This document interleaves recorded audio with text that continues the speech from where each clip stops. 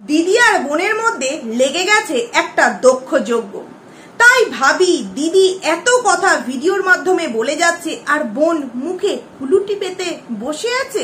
হ্যাঁ বোন কি এতটাই ভালো? যে কিনা নিজের স্বামীকে ছেড়ে কথা বলল না, যে কিনা তার যে ভদ্র শ্বশুরবাড়ির পরিবার নিজেকে সবার সামনে ভালো প্রমাণিত করবার জন্য যেই বাড়িতে পাঁচ পাঁচটি বছর আনন্দ মজা করে কাটিয়ে দিল, সেই বাড়িকে দু মিনিটের মধ্যে একদম তলানিতে নিয়ে যেতে যেই মেয়ে ছাড়লো না, সে কিনা এই দিদিকে এত ইজি ভাবে ছেড়ে দেবে? না।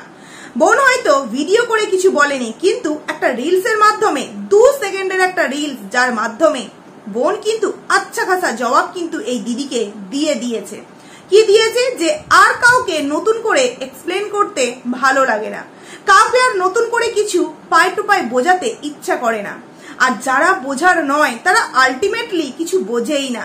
ছোট্ট দু সেকেন্ডের একটা রিলসের মাধ্যমে বোন কিন্তু তার কড়া জবাব দিদির দিকে দিয়ে দিয়েছে। এবং তাইতে অনেক ভিউয়ার্স তাকে সাপোর্ট করেছে, একদম ঠিক।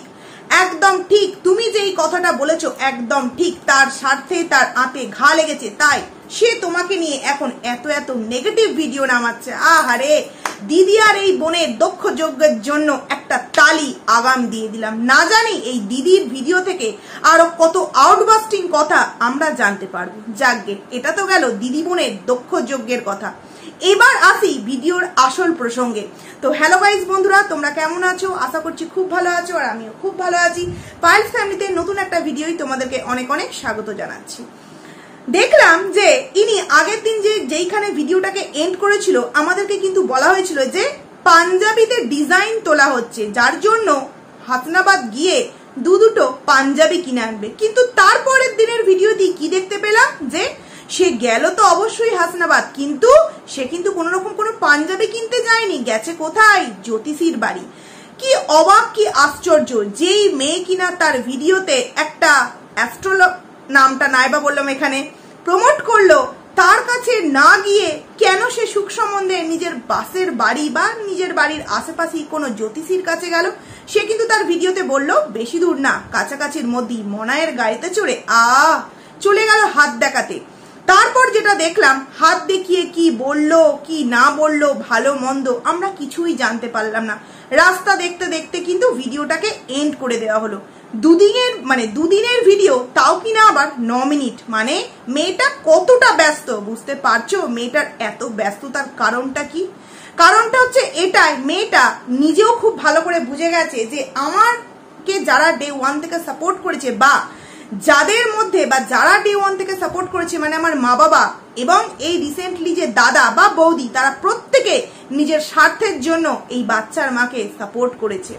একটি মাস এই বাচ্চার মা যদি ইনকাম বন্ধ করে দিয়ে বাড়িতে চুপটি করে বসে থাকে, দেখি তো এই সাপোর্ট কি করে আসে, কিভাবেই বা আসে।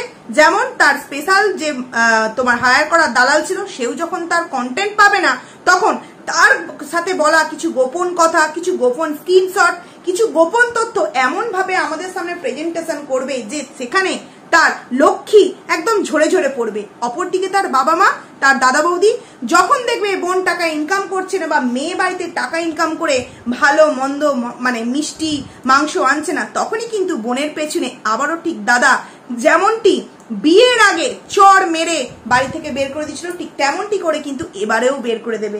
আজকের এই বাচ্চার মা তার ভিডিওতে বলল কালকের ভিডিও যেহেতু আমি আজকে করছি সেই কারণে আজকে আজকে বলছি। কি বলল? যে ভিডিওর প্রথমেই একটা অহংকার জাতীয় কথাবার্তা, যার জন্য তার কমেন্ট সেকশনে কিন্তু তাকে আচ্ছা খাসা বাটাম কিন্তু পেতে হয়েছে বা শুনতে হয়েছে। সে বলল যে এখন আর সেইভাবে ভিডিও দিতে পারছি না। এখন বলে নয়, আমি এই আইডিটা জবে থেকে শুরু করছি, তবে থেকে আমি ঠিকঠাকভাবে ভিডিও দিতে পারছি না। আর এখন তো মনও ভালো নেই, আর শরীরটাও ভালো লাগছে না। কিন্তু কেন মন ভালো নেই? কালকেই তো শুনলাম দুটো পাঞ্জাবির ডিজাইন তোলা হচ্ছে, পাঞ্জাবিতে ডিজাইন করা হবে। তাহলে হঠাৎ করে কেন মন খারাপ হয়ে গেল? নাকি বাড়িতেও এই দ্বন্দ্ব আরম্ভ হয়ে গেছে যে এবার তুই নমস্কার নমস্কার বলে এখান থেকে হাট। তোকে নিয়ে আর আমাদের ভালো লাগছে না। তোর কাছ থেকে যেইটুকুনি আমাদের নেওয়ার দরকার ছিল, ঠিক ততটুকুনি নিয়ে নিয়েছি। কি?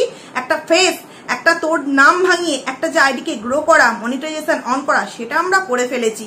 এইবার তুই এখান থেকে মানে মানে কেটে পড়লে আমরা সুখে শান্তিতে একটু নিজেদের মতো করে সংসারটা করতে পারি না। এখানে আমরা যেটা হয়তো ভেবেছিলাম, বৌদির দ্বারা কিছু হবে, বৌদির দ্বারা হলো না, হচ্ছে কার দ্বারা? নিজের মায়ের দ্বারা। নিজের মায়ের দ্বারা মা কি করে তার মেয়েকে এতটা অবহেলিত করতে পারে, তার ভিডিও মানে এই বাচ্চার মায়ের ভিডিও না দেখলে আমরা বুঝতে পারব না। আচ্ছা বাচ্চার মায়ের কাছে একটা প্রশ্ন, এই যে টিটকারি মেরে কথা বা চিপটিন মেরে কথাটা স্পেশাল দীপ ভাই মানে ওর স্পেশাল হায়ার করা দালালের উদ্দেশ্যেই ছিল, তাই না? দালাল বলল যেই কারণেই তো এই তরফে রিলস ভিডিওর মাধ্যমে, দু সেকেন্ডের রিলস ভিডিওর মাধ্যমে বলা হলো কি? যে আলটিমেটলি যারা বুঝতে চায় না, তাদেরকে বুঝিয়ে কোনোদিনও লাভ নেই। আর তারা কোনোদিনও বোঝার জন্য তৈরিও হয় না। তাই কাউকে আর নতুন করে বোঝাতে ইচ্ছা করে না। বা রে বা, কি সুন্দর কি সুন্দর। আর এদিকে দিদিও কিন্তু বসে পড়েছে বোনের হয়ে অনেক অনেক কথা একদম উগলিয়ে দিতে ভিডিওর মধ্যে। এখন কি না, সন্দীপ সন্দীপকে রিকোয়েস্ট করা হচ্ছে সন্দীপ দাকে যে যাতে এই বাচ্চার মাকে বাচ্চার জন্য ওই বাড়িতে ফিরিয়ে নিয়ে আসা হয়। ও রে, কি মজা, কি আনন্দ! ন মাস যাবৎ দালাল আর তার মালকিন মিলে সন্দীপ দা এবং তার ফ্যামিলিকে কোন তলানিতে নিয়ে গিয়ে দাঁড় করিয়েছে? আজকে কোন মুখে আবার বলছিস কিনা ওই বাচ্চার জন্য তার মাকে ওই বাড়িতে যাতে ফিরিয়ে নিয়ে যাওয়া হয়? যতই তোকে নিয়ে বলি না, ততটাই ঠিক কম বলা হয়। এই যে বাচ্চার মায়ের কমেন্ট সেকশনে এত অহংকার, এই যে অ্যাটিটিউড মার্কা কথাবার্তা, এই যে এত সমস্ত কিছু এসেছে, কি কারণে বলতো কারণ, একটা মানুষ তখনই অহংকার দেখায় যদিও কোনো জিনিসের জন্য অহংকার দেখানোটা ঠিক নয়। তবুও অহংকার দেখাবার একটা না একটা রিজন চাই, তাই না? এই বাচ্চার মায়ের কাছে কি আছে বলতো না আছে সম্মান, না আছে সে যে মা। সেই তার নিজের সন্তান। না আছে একটা স্ত্রী হওয়ার যোগ্যতা, না আছে একটা বাড়ির ভদ্র বৌমা হওয়ার যোগ্যতা। তাহলে তার এই যে অ্যাটিটিউড তার যে এই অহংকার, ঠিক কি কারণে বন্ধুরা? নাকি এটা অহংকার নয়, হয়তো আমরা ভুল বুঝছি বা তার ভিডিও আমরা সেইভাবে ক্যাচ করতে পারছি না। কারণ কি আমার যতটুকুনি মনে হয়েছে, তার ভিডিওর প্রথমাংশের কথাবার্তাগুলো খুবই স্যাড সহকারে বলা হয়েছে। কারণ কারোর উপর ঠেস মেরে শুধুমাত্র দালাল নয়, বাড়ির কিছু মেম্বার্সকেও ঠেস মেরে কিন্তু এই কথাটা বলা হয়েছে, এই কথাটা বলা হয়েছে। বাড়ির মেয়ের কতটা যত্ন, কতটা তার প্রতি ভালোবাসা? আগের দিনের বাসি চাউমিন যেটা কিনা দাদার জন্য রাখা ছিল, দাদা যেহেতু বিয়ে বাড়িতে গিয়েছিল, আর আমরা প্রত্যেকেই জানি যে বিয়ে বাড়িতে যারা গাড়ি নিয়ে যায়, তারা খাওয়া দাওয়া করিয়ে আসে। আবার অনেকে যারা আঁশ টাস মানে মাছ, মাংস খান না, তারা হয়তো খায় না। কিন্তু দাদা তো খায়, দাদা খেয়ে এসেছে, যেই কারণে চাউমিনটা রয়ে গিয়েছিল।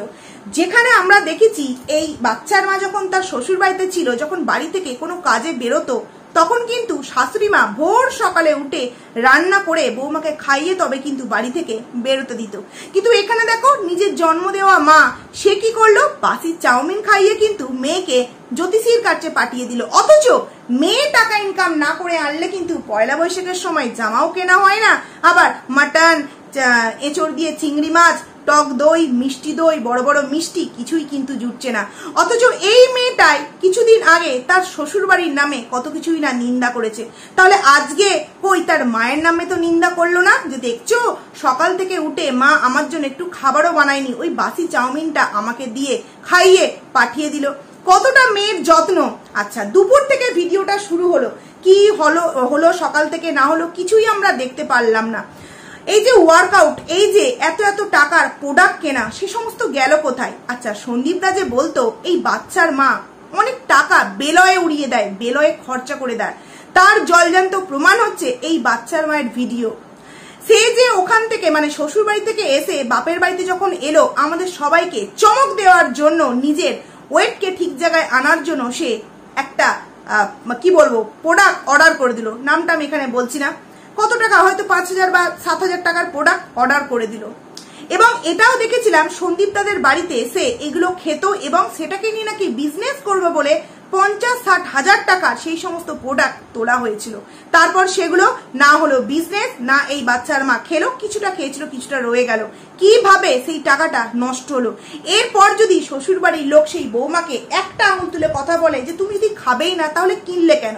আর তুমি যদি বিজনেস নাই বা করবে, তাহলে এত কিছু কেন তুমি অর্ডার দিয়েছিলে? এইবার এই কথাগুলো বলতে গেলেই অশান্তি ঝগড়া। কিন্তু মেয়েটা যখন স্বাধীন, মেয়েটা নিজে মানে ইনকাম করছে, এখন নিজে স্বাধীন পাখির মতো উঠছে, সে বেলোয় যত খুশি তত টাকা খরচা করলেও তাকে কেউ কিছু বলার নেই।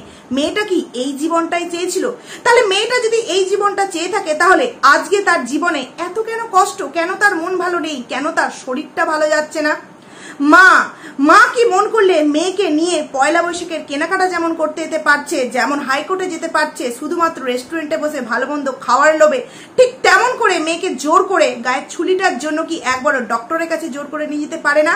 একটা মায়ের কি এই অধিকারটা নেই যে আমি মেয়ের মুখ দেখিয়ে আমার আইডিটাকে যেমন মনিটাইজেশন অন করে নিয়ে ছেলের একটা কেরিয়ার তৈরি করে দিচ্ছি বা নিজের একটা কেরিয়ার তৈরি করে দিচ্ছে সেখান থেকে দাঁড়িয়ে সেই মেয়েটার যে রোগটা হয়েছে, সেই রোগটা মানে দেখানোটা বা নির্মূল করানোটা আমার একজন মা হিসেবে দায়িত্ব না।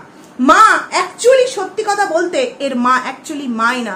শুধুমাত্র মেয়েটাকে স্বার্থের জন্য কাজে লাগাচ্ছে এবং মেয়েটা এখন এই মুহূর্তে এসে রিয়েলাইজ করতে পেরেছে যে, আমি যদি একটা মাস টাকা ইনকাম বন্ধ করে দিই, তাহলে হয়তো মা, বাবা, দাদা আমাকে বাড়ি থেকে বের করে দেবে।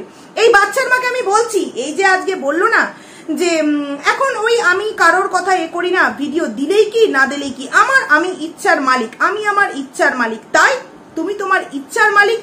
একটা কাজ করো না, একটা মাস ভিডিও না দিয়ে দেখো। দেখো তো, মা, বাবা এবং দাদা কি করে বসিয়ে বসিয়ে বাড়ির মেয়েকে আর বোনকে খাওয়ায়।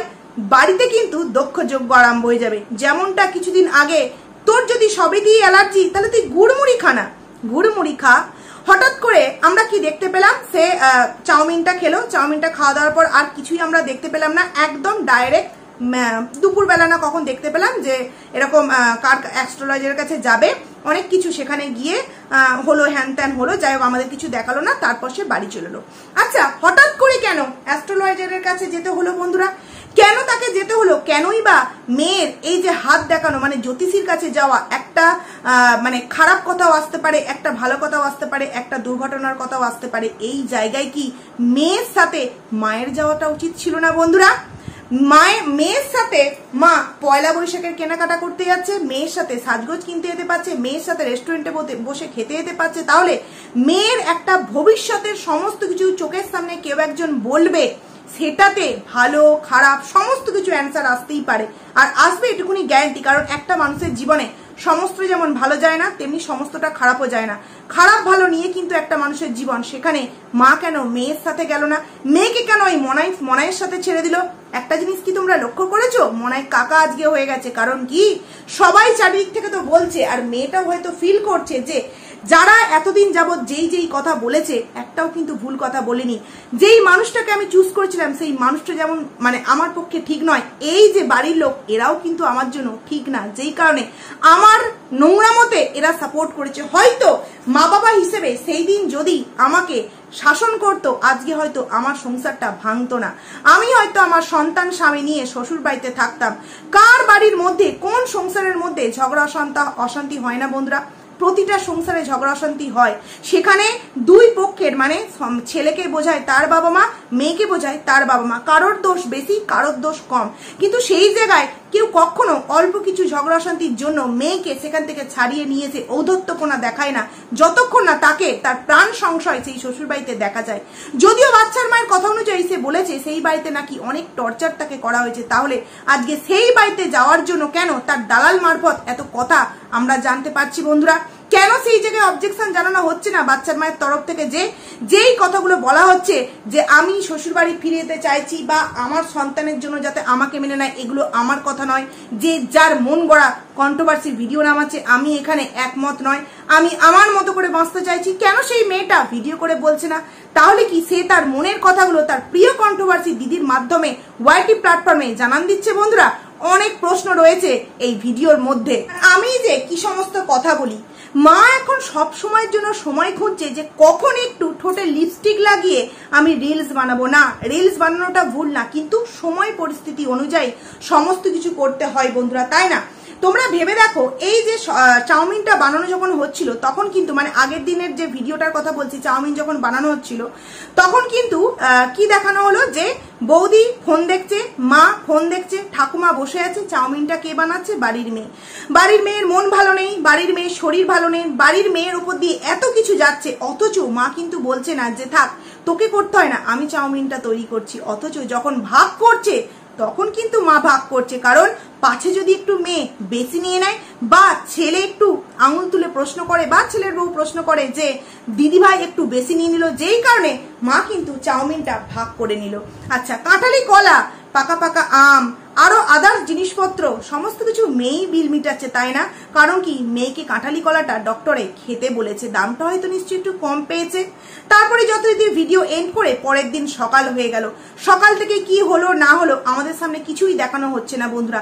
সত্যিই কিন্তু বাচ্চার মা একটা বিশাল বড় চিন্তার মধ্যে আছে।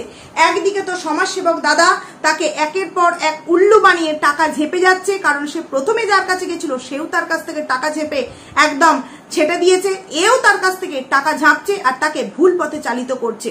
ভুল পথে তাকে এগিয়ে নিয়ে যাচ্ছে, যেই পথে গেলে সে হয়তো কোনোদিনও সুখের সংসার তো করা অনেক দূর কি বাদ সন্তানকেও নিজের কাছে পাবে না। এবং এই যুদ্ধে বা এই লড়াইয়ে বাড়ির লোক হয়তো সেইভাবে তাকে সাপোর্ট করছে না।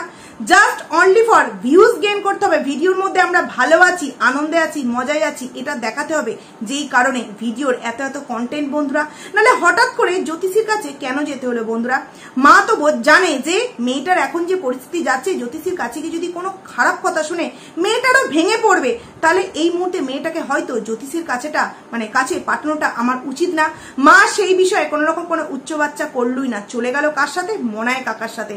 বাড়িতে কিন্তু সবাই উপস্থিত। তবু কিন্তু সেই মেয়ের সাথে কেউ গেল না।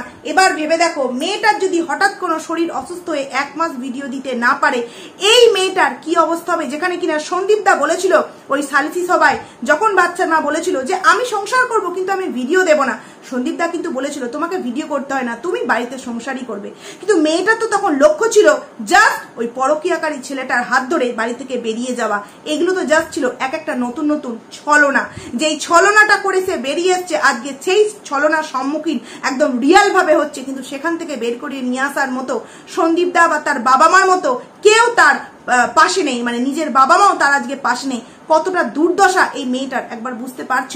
তাই যারা ভাবছে যে পরকিয়া করে, কোনো ভুল করেনি, মহৎ কাজ করেছে, তাদের একবার অন্তত ভেবে দেখা উচিত এই বাচ্চার মায়ের জীবন কাহিনীটা যে কোথায় ছিল আর কোথায় এসে দাঁড়িয়েছে। তার কোনো কিছুতেই এনার্জি নেই, না নিজের শরীরের প্রতি, না নিজের ভিডিওর প্রতি, না নিজের খাওয়া দাওয়ার প্রতি, কোনো কিছুতেই তার এনার্জি নেই, কারণ কি সে ভেঙে পড়েছে, সে আর পাচ্ছে না।